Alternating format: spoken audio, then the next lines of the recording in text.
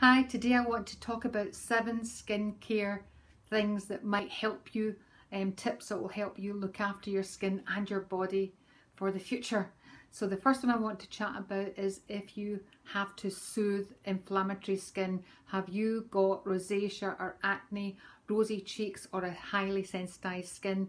Then you want to be using anti-inflammatory ingredients in your skincare. This protective barrier on the outside surface has got a pH of 5.5 which is acidic. You need to be using pH balancing skincare products to keep that intact. It is acidic so that it protects your skin against airborne pollution and germs and bacteria.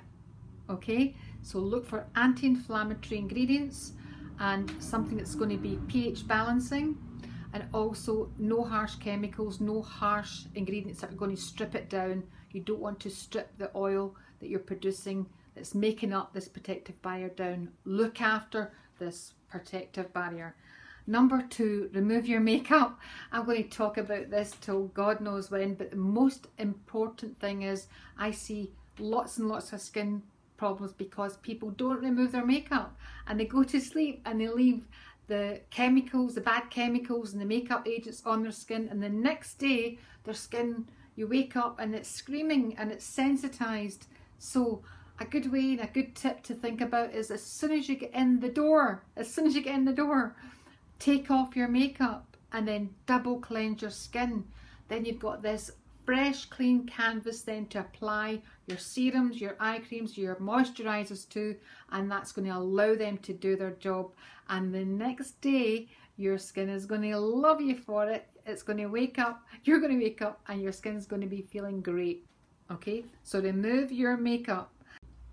So use clever exfoliators.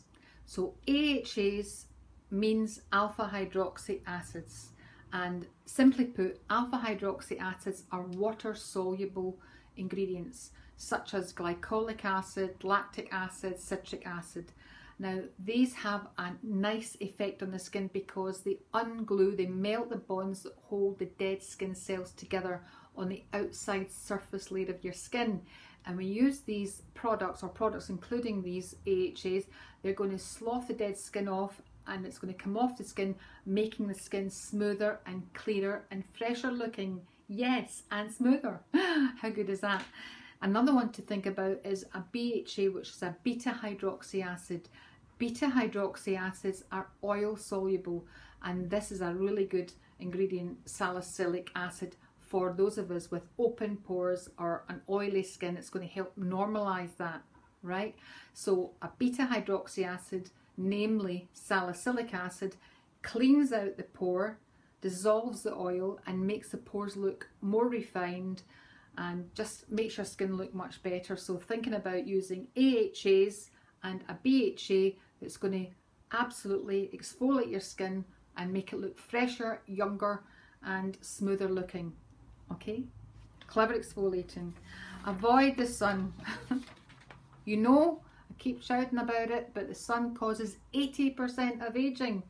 So do you want lines? Do you want wrinkles? Do you want hyperpigmentation? Do you want age spots? Go outside without a sunscreen or, you know, worse than that, skin cancer. If you want any of these things, don't wear sunscreen. But you want to look after your skin, you want to look after your skin health, you must wear a sunscreen daily before you go outside. So Apply a sunscreen daily to the bits of the face and neck and decollete and the hands that are on show. Even if your arms are on show, you've got to be putting the sunscreen on. Any bit of the skin and body that's on show, put sunscreen on before you go out the door. That's a massive thing to do and that's going to keep you healthy. Yes, it is. Or you can wear sunglasses as well and a big hat or all together, I would say all together. Use great moisturizers. You know, now is the time to invest in that good moisturizer. It's a proven fact when you use moisturizers, your skin is going to look younger. It's going to keep the moisture content that you produce yourself intact. And that's really, really key there. As we get older, we lose our own natural moisturizers. So this is especially important for those of us as we get older. You have to ensure you're really spending the dosh on the moisturiser. A good way to think is if you've got dry to normal skin, put on a lightweight moisturiser first, right? It might contain mainly hyaluronic acid and let that fully absorb. And then use an oil lipid type moisturiser on top to seal it all in and to keep it. That's a good way to think about it. But it's okay to use two moisturisers. I'm all for that if you've got dry to normal skins. Okay, so get that moisturiser habit, that good one. Eat healthily.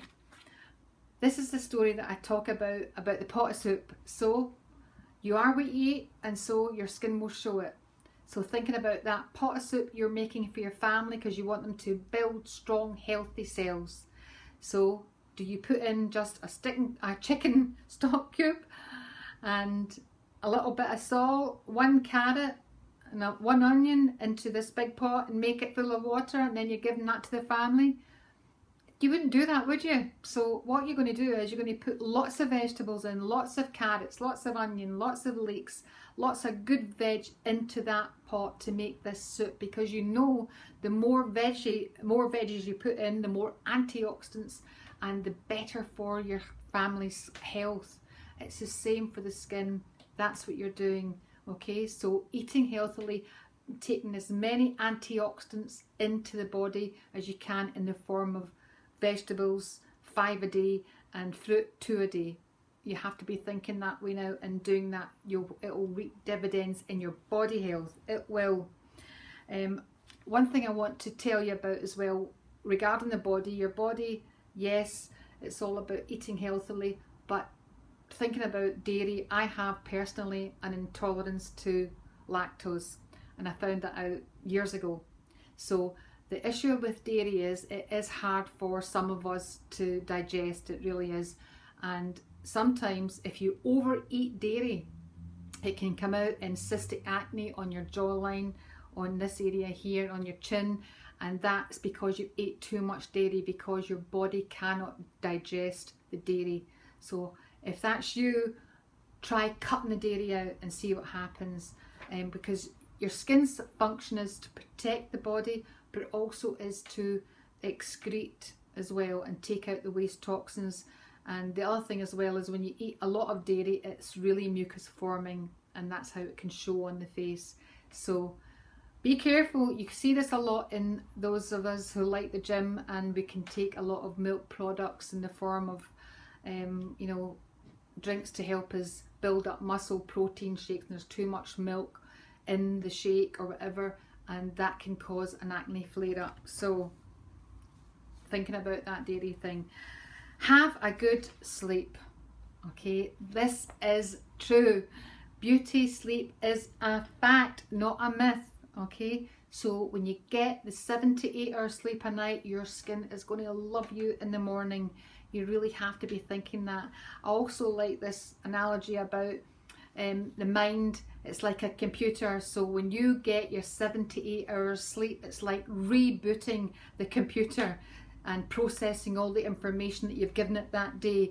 So the next day when you wake up your mind is fresh and ready, and your skin is looking and feeling great. A good tip I've got is invest in one of these. this is a pro tip at the end of the video. Get a Fitbit if you haven't, because I think this is an amazing little gadget so you can look on your phone and see what your sleep patterns like. You can make sure you make adjustments in your eating, your hydration levels, all to keep you performing at your best. Okay, so think about the Fitbit, put that on the, the Christmas list now. Hope that was informational to you. Please, if you've got any questions about your skin, put them in the comments below. Don't forget to subscribe to me and you can always email me if you've got any issues you can't get an answer to about your skin. Email me at joan at jlformulations.com. Have a great week. Bye.